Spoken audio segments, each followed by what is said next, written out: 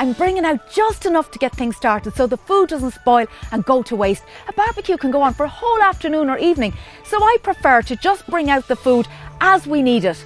Remember, you can always top up if you need more. This really does enhance anyway your guests' overall experience so they enjoy the food fresh at its best, straight from the fridge or hot off the barbecue.